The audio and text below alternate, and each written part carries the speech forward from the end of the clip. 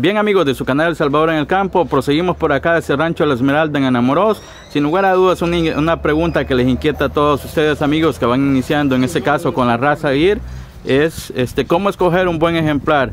Este, todos entendemos y hemos visto en algunos videos reportajes que no depende de, la edad, pero vamos a ver acá qué características ve un amigo y va a escoger para todos ustedes, quizás de todo este grupo que ustedes ven por acá, va a escoger cinco animales y nos va a contar por qué razón los escogió, qué características le vio. Cuéntenos amigo, tienen las cámaras para usted. Creo que es una pregunta bien complicada, Cristian, porque este, creo que todos los escritores que tú tienes este, pensamos de diferentes maneras, ¿verdad? Este, pero con los años vas aprendiendo detalles tú de, no solamente de esta raza, no que de cualquier otra raza, todo uno va aprendiendo de cada raza. En este, hablando de esta raza, de, de en sí, pues cada, cada persona creo que cuando empezamos y no tenemos mucho conocimiento, creo que nos vamos por el, por el color que a cada uno le, va gustando. Creo que por ahí eh, empezamos todo, el que no tenemos el conocimiento que, de las otras cualidades. Pero con los años uno va aprendiendo que cada animal eh, tiene, digamos, que uno va buscando que, digamos, que este animal, con este vez se ve más lechero este que el otro, porque tiene características diferentes. Pero por eso yo estaba diciendo al principio, que que si yo tomo, digamos, me gustan cinco animales, yo le tomo toma y hablo con el, con en este caso con Joel, ¿verdad? Y le, digo yo qué, características tiene este y me explica él de qué padre viene y de qué madre viene. Por eso es que el valor de uno y otro cambia, porque todo va basado al, al padre, que hay padres que son mejores tirados a la leche y a la calidad del toro, y madres también, es importante que la madre sea buena. ¿verdad? Entonces yo le pregunto a él qué madre viene y basado a eso me voy más que todo. Y, y, antes me iba yo por el color, el color que a mí me gustaba. Pues probablemente aquí a otro le gusta el blanco, que le gusta este, y el color es lo de menos, porque ahí estamos con aquel blanco, que un toro bien bonito, pero yo antes no me gustaba el blanco. Entonces joven un día vine y, y Joven me puso un blanco ahí y me dijo todas las características del, el toro blanco que tenía leche, quién era el padre, que era bueno para montar y que la madre era buenísima. Entonces yo me lo llevé. Y, en, sí, el animal es excelente, es de los mejores toros que, están en la zona, digamos ahí, es un buen toro. El color es lo de menos, amigos, porque ellos pintan, le, llaman el color de los siete colores, tira bastantes colores el animal, no por ser blanco, pero es difícil escoger. Ahí yo pienso que lo mejor que puede hacer en este caso, que hay muchos animales, no le puedo escoger cinco, porque todos me gustan. Pero yo les puedo escoger cinco. Pero primero, lo que más debería interesarle, creo, a un comprador como yo o como cualquier otro, creo que es agarrar cinco tomas, en este caso hablando de cinco, cinco tomas y que me explique, digamos, el que tiene conocimiento de cada animal, de qué toros son y de qué madres son. Entonces yo ahí me voy a basar y cuál va a ser el mejor porque es importante que sea de buen padre y de buena madre, de los que yo considero que son buenos. Creo que sería lo mejor, por eso son, es importante la toma de los animales y preguntar, preguntarle al dueño de las características de cada animal. Y yo me fuera a esa mejor a eso, no lo que el color que a mí me gusta, porque el color es lo de menos.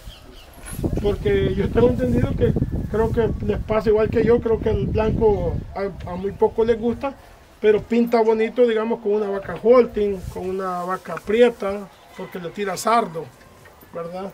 Y yo así lo vería, este Cristian. Este. Sí, la verdad que cada comprador tiene sus gustos, por ejemplo, a algunos les gusta el sardo, a otros no, a otros el blanco. Este, la verdad que la raza Gir pues pinta muchos colores y qué bueno que en su caso no se dejó ir ya después solo por el color, ¿ve? la verdad que estaba pienso que es un, engaño, pues, y, está bien, por los gustos, para los gustos, no todos podemos pensar de la misma manera, pero a mí me encanta el rojo, el sardo, y ahora el blanco, pues realmente como que le digo que la combinación del blanco también es, bueno, da, da bien.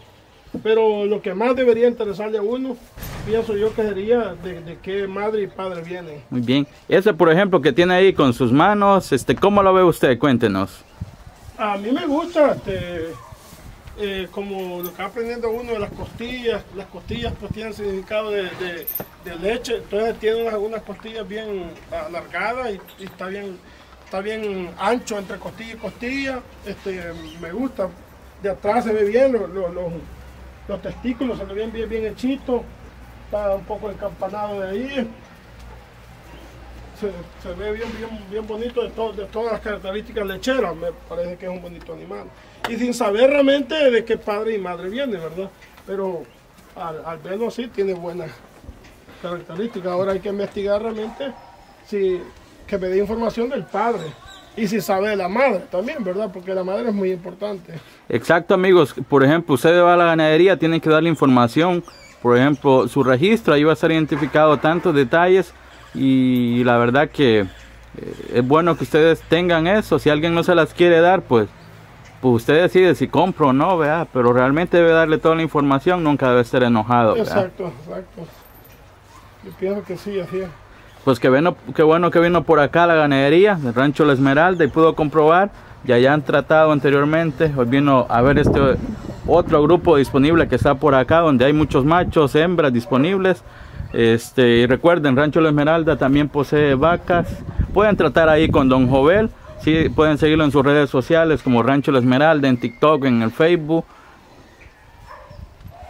Así que quédense por acá con nosotros y van a ver más de lo que tiene por acá Rancho La Esmeralda. Perdón,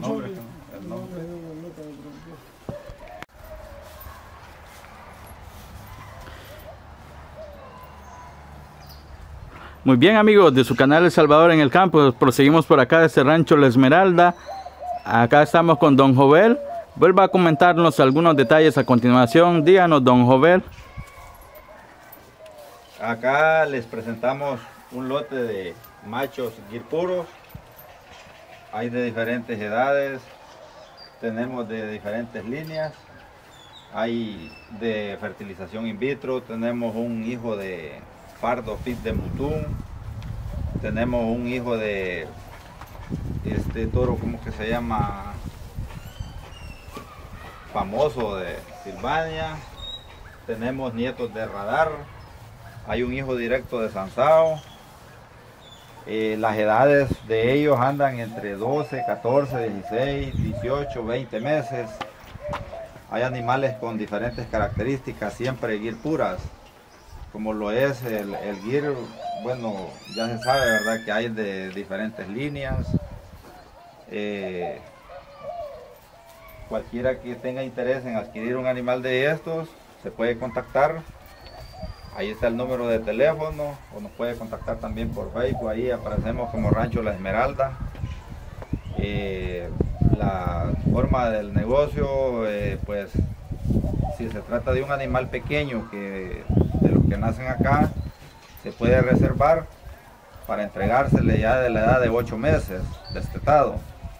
Y lo pueden ir pagando así cada mes eh, o dar una parte para reservarlo y pagarlo ya cuando se entregue el animal. En animales ya más de, de, un año en adelante ya sería diferente la forma del negocio porque vaya, se puede esperar un mes si alguien dice quiero este torete, apártemelo, ahí pues se reserva con cierta cantidad y se espera el cliente un mes para que lo pueda cancelar y luego se le entrega. Usted o también se le puede vender así al contado, ahí como pues dependiendo, ¿verdad? Y